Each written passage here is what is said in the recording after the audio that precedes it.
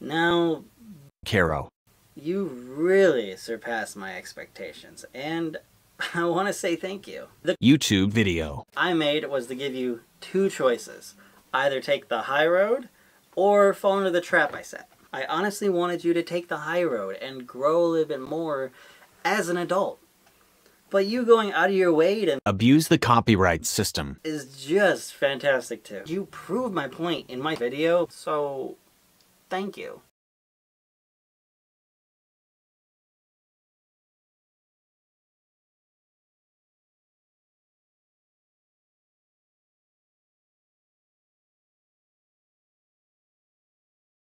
Get fucked. Hi guys. Hey, Kero. How's it going? Been a long two and a half years, huh, buddy? You know, back in 2019, when I got word the police were complaining that you'd clearly scrubbed all your devices, this was the outcome I was starting to expect. The old disappointed but not surprised routine, you know? What was surprising was this comeback video of yours. I mean, what the fuck is this? You've had two and a half years to put together some kind of defense for yourself. And this was the best you could do? No attempts to seriously confront the evidence? No alibis that would make certain accusations impossible? Eh, For God's sakes, you didn't even mention your late dog Coda or your late boyfriend, you know, uh, Colwyn Collie, who, according to your logic and narrative, were metaphorically dug up and their corpses used by ghoulish trolls looking to destroy your life. That's horrible, but uh, no, you just said I didn't make the deer video and the police couldn't arrest me, so I didn't do it, which is the weakest defense you could come up with. Then again, what else could I expect from someone like you? Enough yammering, let's get straight to picking this thing apart. Cue the content warning. Five, four, three, two, one, let's go.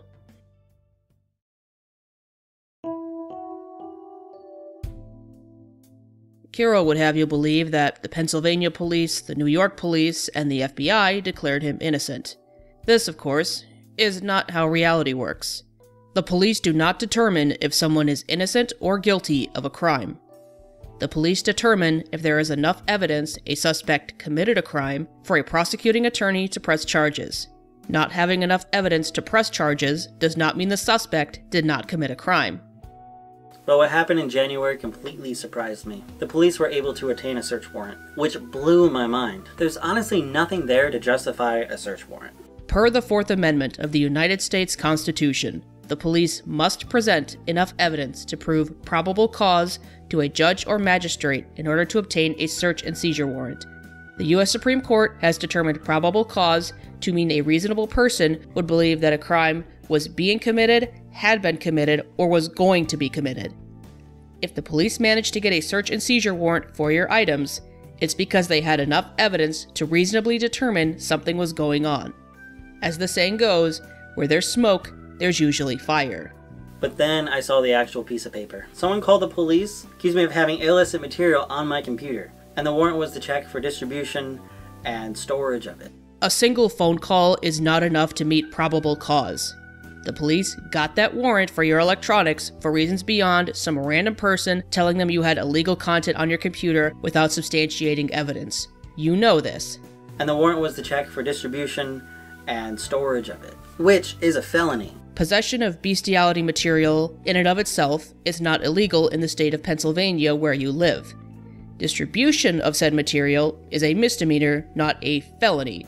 It would only be a felony if you were distributing Animal Crush content, which I do not believe anything from your side of the logs would qualify as.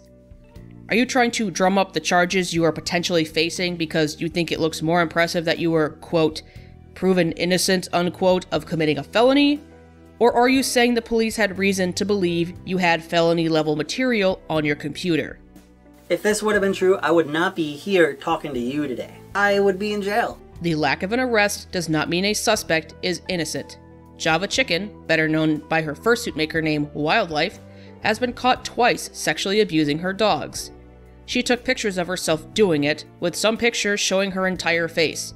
There was no denying it was her in those pictures, and she didn't even attempt to deny it either time. She's confessed to both the public at large and the police. Yet, despite all this, she has never spent a moment in jail. To this day, she hasn't even been charged with anything. And it isn't a matter of her not breaking the law, because where she lives, bestiality is illegal. A police investigation ending without an indictment does not mean that a crime didn't happen, and being not guilty isn't the same as being innocent. They took everything my cameras, my phone, my computer, all my hard drives. So after they took my stuff, I felt utterly hopeless. Without my video equipment, how could I fight back? They took the only thing I could use to help prove my innocence.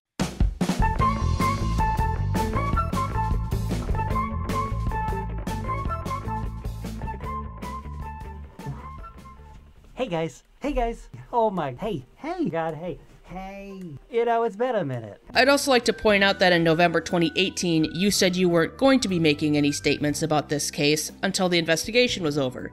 So the police taking your equipment didn't stop you from fighting back because, by your own words, you weren't going to fight back until everything was done.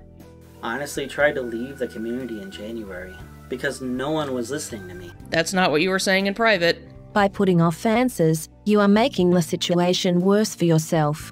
I am sure you are under lots of fire and stress already. But please, do the right thing. I will. I only left because the police took all of my electronics. So I can't make any videos until I get my stuff back. Police took nearly two years to look at my possessions. They even sent my devices to the FBI forensics lab. And also, the New York police got involved. And through all that, there were never any charges against me. If there's any evidence being used against me, the police would have found it. Sure, unless you scrubbed and encrypted your devices, which is exactly what the lead investigator for your case complained about. It sure would be a shame if you had displayed a consistent behavioral pattern of deleting evidence that would corroborate with this claim. You know, like that time you deleted your Telegram less than five hours after the logs were posted. Or that time you deleted your Periscope garage tour video after people used it to connect the dots with animal abuse videos featuring a dog identical to yours in a garage identical to yours. Or how about that time you removed your classic ARF ARF greeting from your YouTube About section after people pointed out the chat logs featured the same greeting? Or how about that time you deleted all your tweets and privated the video about your boyfriend, uh, Colwyn Colley, after people pointed out he was actually the zoo sadist, Ilwan Sheppy Paws? Or that time you deleted all pictures of your dog from Fur Affinity after I pointed out some of those same pictures were uploaded to Beast Forum before you even made your Fur Affinity? Or the time you removed all mention of cheesecake from your Fur Affinity after I pointed out that a Zoophiles Kik username was identical to your saying about cheesecake? Boy, I wonder why the police would have a hard time finding evidence on someone like you. A lot of people say that I got away with it because of legal loopholes, such as denying a search or statute of limitations. However, these people do not know the law. If there was some legal loophole, my case would have been closed. A long time ago. Hell, it would have been closed in a week. Oh, you mean like that bullshit five day long police investigation your friend Ashley Zoe Fox completely faked, hoping it would make people stop calling the police on you? This is not how the police work. What would actually cause an investigation to conclude that quickly is if the police could immediately tell the evidence being submitted was false. They do not conclude that quickly when the evidence is substantial. The real world does not work like Law and Order or CSI, where forensics equipment is always immediately available and crimes are solved in a couple days. Police have limited resources and only so many hours in the day. It takes time to investigate and the fact the police determined there was enough evidence against you to put two years worth of time into investigating you is not the sign of innocence you want people to believe. Because I know for some people, the result of two police departments and the FBI proving me innocent just isn't enough. Don't make me tap the sign. Snake Thing was the ringleader of the group of zoo sadists outed in September 2018. He is a zoo sadist, a pedophile, a necrophile. Basically, if an inherently abusive paraphilia exists, this guy has it. His arrest and incarceration has helped most people realize that the chat logs he had with various other animal abusers and pedophiles are real, a sentiment that has been further backed up by multiple other group members confessing to their chat logs being real. Kero, however, would have you believe all of this is somehow proof that everything against him and him alone was falsified. Well, it is true I have talked to Snake Thing before. I didn't know he was a monster he turned out to be. We were not friends, just some guy I've been in some furry group. What furry group? Since 2018, you've been talking about the supposed Feral Art Telegram chat group you met Snake Thing in. A long time ago, I was part of this group. It was for people who had had an interest in feral artwork, you know. And this place had safer work and not safer work. And I met this guy in there called Nalazar. But not once have you ever given the name of that chat group, nor has anyone else in the supposed chat group come forward to back your statement. So, where did you meet Snake Thing? Yes, people were arrested during this, like Snake Thing. But he wasn't arrested because of the logs. Yes, he was. Snake Thing was first arrested in October 2018 because of pictures and videos that proved he had sexually assaulted a puppy. These pictures and videos were found in the logs. During this arrest, the Coos County Police also confiscated all of his electronics to search for additional evidence. Without the logs, Snake Thing would not be in prison right now. People did report him to the police, and they did investigate him. But his charges do not reflect what was in the logs. Yes, they do. Snake Thing was originally indicted on animal sex abuse charges, which reflect his abuse of the puppy, which was uncovered through the logs. Why the charges of animal abuse were not brought back in the second indictment, I don't know, but it is an undeniable fact Snake Thing is guilty of those crimes. His final charges were for child sex abuse material possession and distribution, as well as bestiality material distribution. And if you look at the chat logs, he was, objectively, distributing bestiality and child sex abuse material. This shows he was in possession of illegal pornography. Not because he was a ringleader, not because of these logs people keep talking about, but because he had illegal content. Where do you think he was getting the illegal content from, Kero? How do you think the police were able to prove probable cause that he had illegal content so they could get a warrant, Kero? So we were both investigated by the police, and he was found guilty. Meanwhile, I never had a charge on me. That should say something. So many people were distracted by targeting me, while Snake Thing nearly got away with it. He was the real monster. Kero, you literally took this defense from a Zoophile podcast. So now you have to ask yourself, what did this absolute character assassination accomplish in the end? Well, as far as I can tell, what it accomplished is it made for a really good shield for real abusers who were able to perhaps make their getaway. Snake Thing didn't almost get away with it. He was the first to be arrested only 40 days after the logs were released. He was the first person to have his electronics confiscated, and so far, he's been the only one convicted and thrown in prison. Of all the people outed in the leaks, he has gotten away with the least. I wish I could say the same about you. For a good part of this video, Kero attempts to refute the evidence against him by attacking the credibility of its origin. This is what's known as a genetic fallacy, a logical fallacy in which a claim's origins are used to prove or disprove its legitimacy, rather than discussing the merit of the claim itself. While a claim's origin may provide supporting context to its merit, origin does not, in and of itself, define the merit. This is all to say, Kero can't attack the evidence itself, so he's kicking up whatever dust he can to hide. Secondly, I want to point out the legitimacy of the person who posted the logs. This user claims to be an actual confessed zoophile, and the logs contain images of bestiality. How does that make him a legitimate source if he himself is one of those people that abuses animals? People involved in criminal networks are often the ones best equipped to understand who is committing crimes and how they're doing it. Why do you think Kevin Mitnick, the first person to be on the FBI's most wanted list for crimes related to computer hacking, is now a computer security consultant for the FBI? Yes, Pseudonym is a zoophile. This has never been denied or hidden, and they deserve to be punished to the fullest extent of the law for any animal abuse they have participated in. Furthermore, yes, they should have submitted this evidence to the police first before speaking about anything publicly. But being an animal abuser themselves does not mean they can't provide accurate information on other animal abusers, and going to Twitter instead of the police does not automatically disqualify their evidence. Attacking their credibility instead of attacking the actual evidence indicates you can't disprove what they have said about you. A lot of people also sourced that internet harassment site. That damn Kiwi Farms. People are claiming it was a trustworthy site with reliable information. Kiwi Farms is a gossip forum dedicated to chronicling the lives of weird people on the internet. They do this by collecting screenshots and archiving information put out there by the very people they talk about. I'm not here to defend everything Kiwi Farms users do or say you should believe everything you read there. Putting aside the bigotry and doxing that's allowed to be posted there, it is a public forum that anyone can join, and as such, you're not going to have an expert behind every post. In some threads, you're lucky if you can find someone who isn't a complete idiot. It's a place where anyone can say just about anything, for better or for worse. And it's why you need to rely on the screenshots and archives for information, not the commentary from the peanut gallery. Use your brain and Ask basic questions. to determine for yourself if you believe their evidence or not. A lot of people use this place as their dubious source of information. Even their own staff members of that very website say it's just a place to laugh at people. It's not a resource for reliable information. The user you're presenting in this screenshot is not saying Kiwi Farms isn't a source for information. He's saying the site isn't dedicated to vigilante justice and moral grandstanding in response to someone who thinks the farms are for getting people thrown in prison. It's full of homophobic, How does this disprove the evidence against you? transphobic, How does this disprove the evidence against you? and erases people. How does this disprove the evidence against you?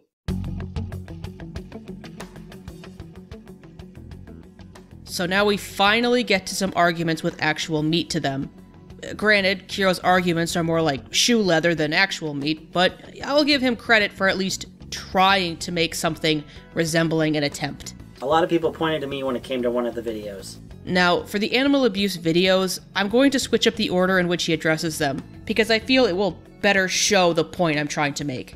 Same with that terrible deer video. People said it was confirmed to be me, but you can clearly see the guy's face in it. He has a visible tattoo on him, too. I even posted pictures of my body on Twitter to disprove this. This is all true. Kero was not in the deer video. He appears to have been sharing it on his alt account Yami the Wolf, but he had nothing to do with its actual production. The man in the video is a necrophilic zoophile who uses the pseudonym Gatorvent. He was identified through other animal abuse videos where the same chest tattoo can be seen. Now, keep it in your mind how Kero went into specific details about the deer video to prove his innocence, and let's compare it to how he handles the dog video. One in particular had a person's lips and their nose in it, and claimed it to be me with absolutely certainty. I don't understand how you can make that connection from a blurry photo. Same with that terrible deer video. Notice how he's suddenly skimping on the details? There's far more to the dog video than just a blurry face. Like the fact the dog was a match to Kero's dog, and the room was a match to Kero's parents' garage, and the clothes the person behind the camera was wearing were a match to Kero's clothes. And the video's origins was traced back to a Beast Forum account run by someone who talked just like Kero and was uploading pictures of Coda nearly a year before Kero posted those same photos on Fur Affinity. Kero, why were you so eager to go into detail with the deer video, which you are objectively innocent of being involved in? Yet when it comes to this dog video, you're skipping over the details entirely and lying about why people think it's you. Videos can be staged, Photoshop exists, so screenshots can be easily edited. We aren't talking about screenshots. We're talking about chat logs, forwarded messages, archived web pages, and videos. Things that can't be tampered with in Photoshop. But while we're on the topic of fake screenshots, let's take a minute and talk about yours. Like the fake screenshots you used to try to claim you were hacked. Another question a lot of people have asked, and this is a big one that's been going across, is did you actually get hacked? Yes. Though I lied about one thing. I was kicked out of my account. At first, when it happened, all I saw was my name changed, and before I could take any screenshots of the active sessions, I was booted out of my account. I felt like I needed to prove myself to people because I was getting questions about all this stuff at once. And I was thinking irrationally and I was just freaking out in general.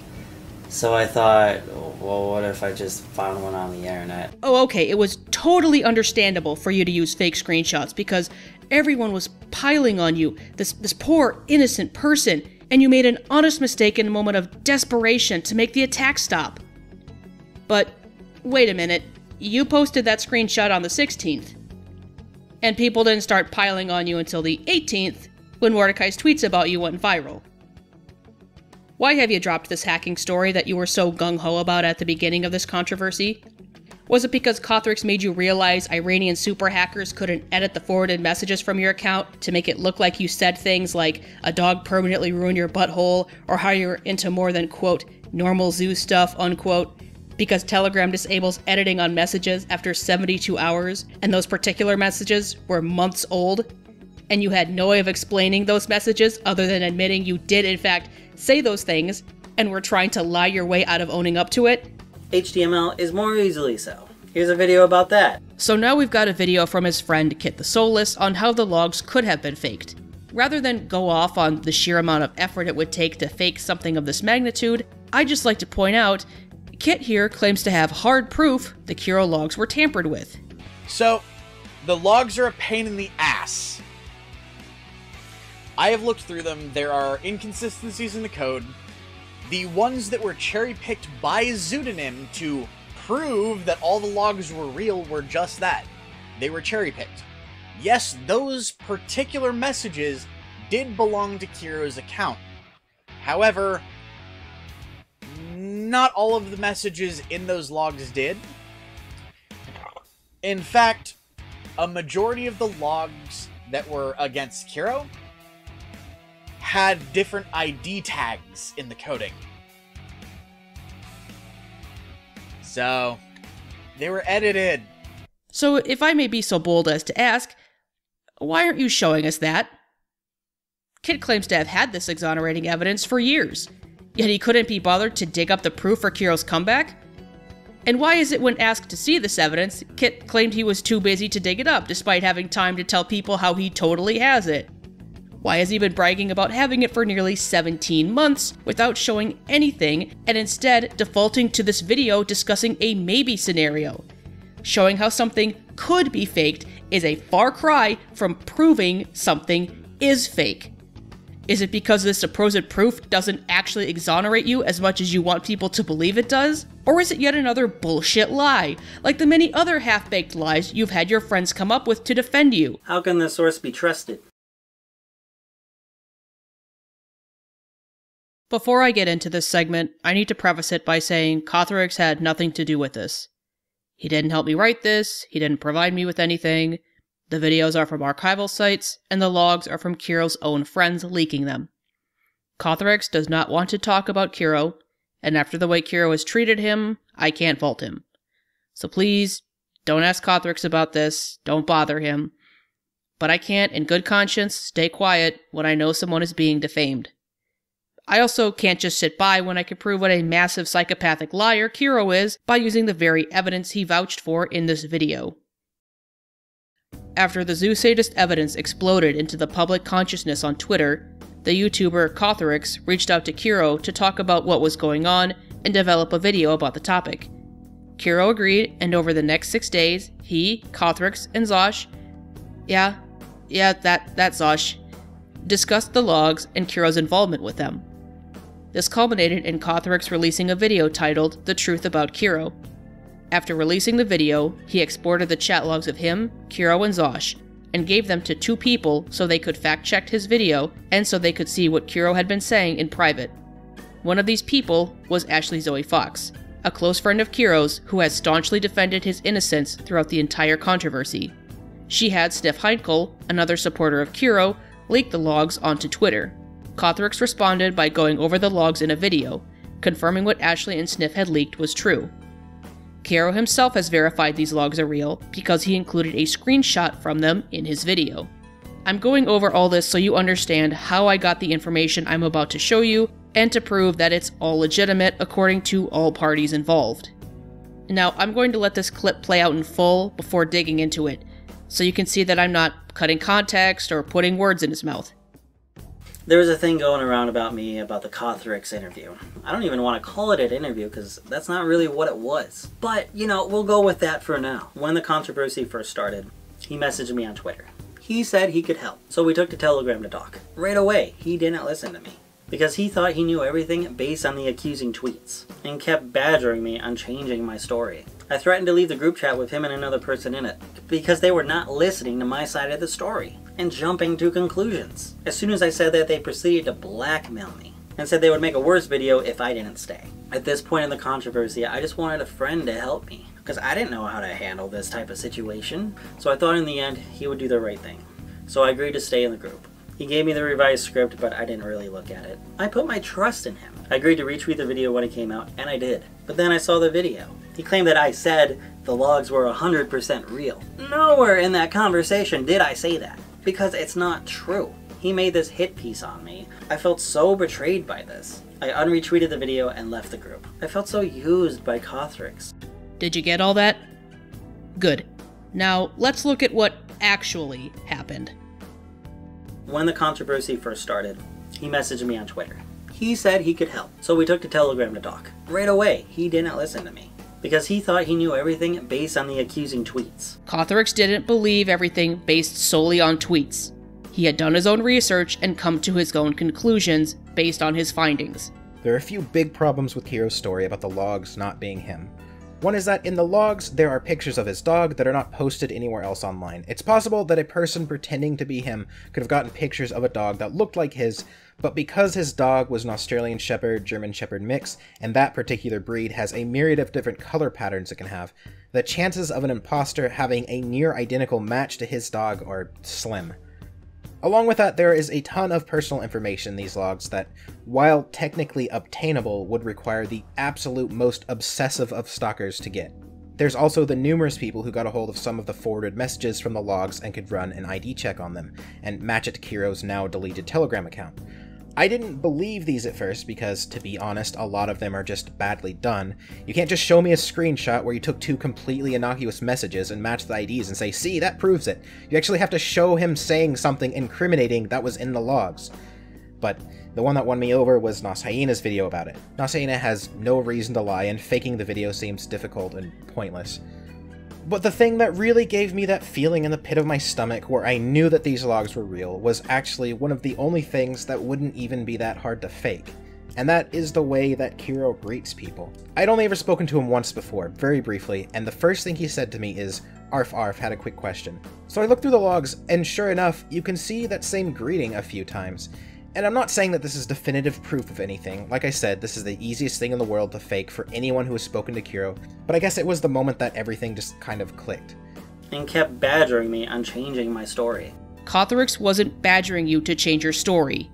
You kept changing your story. So you are saying the person there is definitely not you?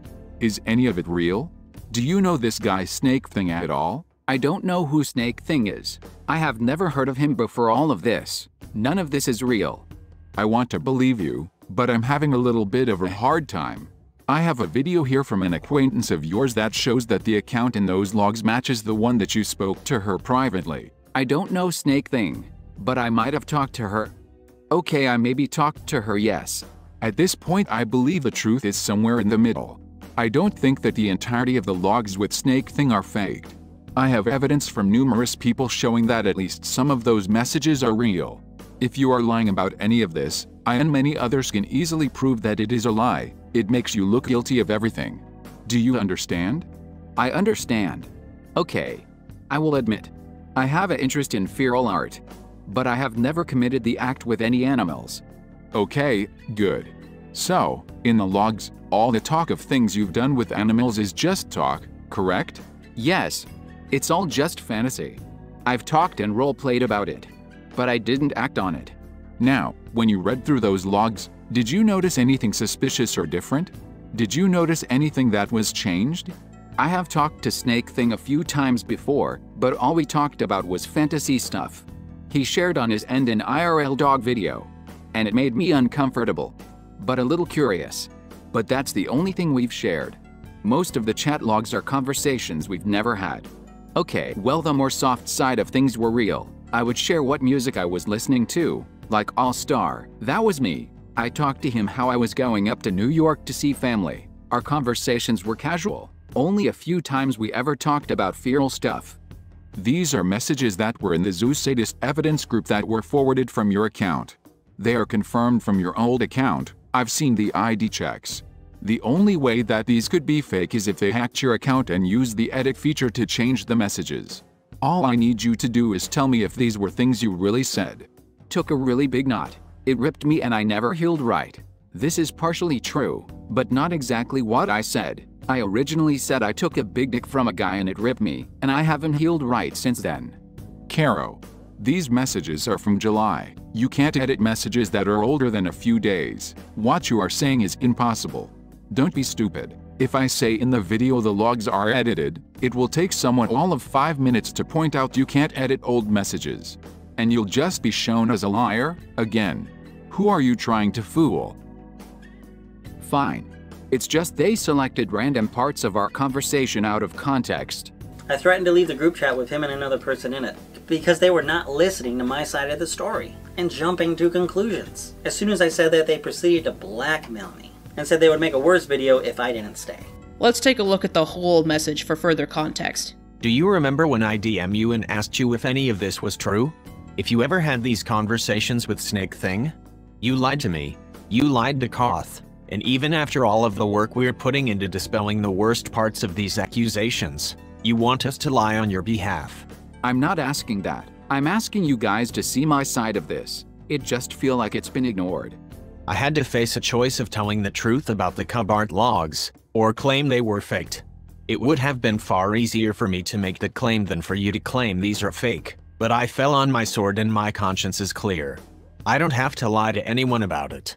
Nobody that matters to me cares what I draw, and nobody that matters to you would care if you had zoophilic interests, especially if you admit what parts of the evidence are true. That's the only leg you have to stand on to make people believe that you don't want to do the things you said you were interested in doing. If you throw this in Koth's face, I guarantee that video he makes will not be presenting any benefit of the doubt for you. And I wouldn't blame him. I'm not trying to be disrespectful. You of all people should know how I'm feeling right now. I feel like no matter what I say, I'm not being heard. If you lie, nobody will believe anything you say. And at that point, it all becomes true. Okay, if you're still making the video, use the new script. I'm sorry. This was not blackmail. They were not making threats to make you stay in the group. They were frustrated that they had put in a lot of work trying to help you, and you returned the favor by lying over and over and over again, and then throwing a fit when they wouldn't lie for you in public. It's not blackmail to tell someone you won't give them the benefit of the doubt when they have proven themselves unworthy of it. And just to clarify, because I know someone's going to twist this out of context, I'm not trying to defend Kothorix and Zaush as people, especially not Zaush. I'm just debunking false statements made against them. So I agreed to stay in the group. He gave me the revised script, but I didn't really look at it. Alright, here is the rough draft for the script. It's very important that you read this and give me your thoughts as soon as possible so we can get this moving. Wow, that's a lot. I agree with the script, but do we outright have to label me as a zoo? Like 95% of the logs would have to be fake for you to be able to realistically claim you weren't a zoophile. Well I guess the best I can do then is to rewrite the script a little to include that you claim some of the logs are faked. But then people are going to want to know which parts, and if you say basically everything bad, it's just going to be a little too convenient for people to believe. That's what I think. But I'll leave that to you. Alright. The words in green are what has changed. Though I recommend reading the entire thing carefully to make sure everything is accurate. And then Kero agreed with me and told me that yes, the logs are his. Could we change that to this? And then Kero agreed with me and told me that yes, some of the logs are real. Change he does have an interest in zoophilia to he does have an interest in feral art, and some aspects of zoophilia. And change yes, Kero is interested in animals sexually to yes, Caro is interested in feral artworks of animals. It feels like you're leaving out a lot of what I told you. Feels like you're trying to backpedal and not actually admit to anything now. I agreed to retweet the video when it came out, and I did. But then I saw the video. I unretweeted the video and left the group. You mean you saw the video 12 hours before it was publicly available and approved of it? Video is up. Currently unlisted. I'll be making it public tomorrow morning. I'm showing you this now so you can start thinking about what to say when you see this. I'm not going to change the video at this point. This is it. Watched it. I guess we'll see how it goes. One thing, you used a photo of me and my friend but didn't blur my friend's face. YouTube editor is fucky as shit anyway it's easier to just re-render the whole video and re-upload, honestly. Alright, yet, his face and name. then it should be good. He claimed that I said the logs were 100% real. Nowhere in that conversation did I say that. L- listen, okay, this is important because this is something that people probably don't catch. I say in the logs, all the talk you've done with animals is just talk, correct? I'm asking him, right? He because he said he never committed an act with animals. In the logs, he talks about how he fucks his dog and how he's like fingered puppies and weird shit like that. So I'm saying, okay, so you're saying that you didn't do that. It's just talk. It's just fantasy, right? And he says, yes. This is him admitting the logs are real, by the way. If I say, oh, you, you talked about all these things, but they're not real, he's saying, yes, I talked about them. Those logs are real. He made this hit piece on me. Kothorix's video was the furthest thing from a hit piece. It was the most sympathetic video he could possibly make about you without lying. So I honestly do not believe that Kero is the serial animal rapist that people are claiming him to be. I think he just fantasized about it and shared those fantasies with a close friend of his. I also don't think it's fair to call Kero a zoo sadist. Though he does mention liking rough sex a few times, Kero makes it very clear that he doesn't want to hurt animals. He says this over and over again throughout the logs. This is also cemented by the fact that toward the end of the logs, Snake and Kero have a discussion about how their mutual friend had to specifically be less extreme with his fantasies around Kero because it made Kero uncomfortable. Now, as far as the Necro stuff goes, Kero once again makes it very clear that he doesn't want to hurt or kill animals, and he's only interested in animals that were already dead, specifically stating roadkill. Now, that doesn't make it any less gross, but at the very least you could say that you can't really hurt an animal if it's already dead. So, since Kero doesn't appear in any of the videos or pictures where animals were hurt, and he's very clear about how he doesn't want to hurt animals, I don't think it's fair to call him a zoo sadist, and I don't think that we should lump him in with the rest of the zoo sadist group. Remember, several people were called out as zoo sadists, and we have this big dump of evidence against them. Kero's name is on that list. But since Kero is the most high profile name among them, he alone is being held accountable for everything. People have been accusing Kero of things that we already know were the crimes of other people in that group. He's been the scapegoat of this whole thing, when in reality, he's probably the least extreme person in this group. And remember, we aren't actually talking about a group of friends here, we're just talking about a group of names that someone else compiled. Kero likely wasn't even in contact with a lot of these people. Kero is not a zoo sadist, he didn't hurt any animals. He likely didn't even have sex with any animals. He has an interest in bestiality and he shared some images of it. If you're going to judge him for anything, judge him for that. I felt so betrayed by this. If the video was such a betrayal of your trust, why did you tweet this out the morning after? The Kothorix video was accurate on a lot. My interview with Ashley was meant to fill in some of the gaps that were not mentioned in Kothorix's video. Please take a look at both of these videos. The truth is in there. To recap, over the course of about a minute, Kero lied a grand total of because he thought he knew everything based on the accusing tweets and kept badgering me on changing my story. They proceeded to blackmail me. He gave me the revised script, but I didn't really look at it. I agreed to retweet the video when it came out, and I did. But then I saw the video. He claimed that I said the logs were 100% real. Nowhere in that conversation did I say that. He made this hit piece on me. I felt so betrayed by this.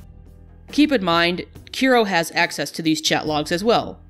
I know this because he used a screenshot from them in his video, and he would have had to read through most of the logs to find that specific message, considering it's 25 pages in. His incorrect retelling of what happened between him and Kothorix is not the result of a lapse in memory. This isn't him misremembering or forgetting something said in a conversation two years ago. He consciously chose to write these lies into his script, pantomime feelings of sadness and betrayal while saying things he knows are not true, and edit it into a video to gaslight thousands of people. I felt so used by Kothorix. Kero, if anyone has the right to feel used and betrayed here, it's Kothorix, Zaush, and all your fans who you've been lying to. Kothorix stuck his neck out and took a lot of shit to defend you. Yet you feel entitled to sit here and defame him because you're still mad he wouldn't lie for you. Your fans trust you to be honest with them, yet you have so little respect for them that you have no problem lying to their faces and exploiting their emotions for your benefit. And if you're this eager to lie about a fucking YouTube video, why should we believe anything you say about the far more serious issues? You were investigated for two years because the police found the evidence pointing towards your guilt was credible enough to dedicate their time to finding out what was going on. The judge who signed off on your search warrant determined the evidence was strong enough that a reasonable person would believe a crime had been committed by you. None of this was about cancel culture. People were not trying to destroy your life over some moral failing like saying a slur seven years ago or cheating on your partner. This was criminal activity being taken seriously by the public and the police. You have not proven your innocence. You have proven that you are a liar. You have proven that you will make your friends lie for you. You have proven that you will backstab anyone who won't lie for you, no matter how much they try to help you. You have proven that you are willing to destroy evidence whenever anyone points it out, and you have proven that you are incapable of loving others in any capacity, because you have done everything you can to erase the memory of your boyfriend and your dog because they became too inconvenient for you. Goda! Want to say hi to Vine? Nah, Goda says hi. You may have been able to bury the fire, but you can never hide the smoke that will forever be billowing around you.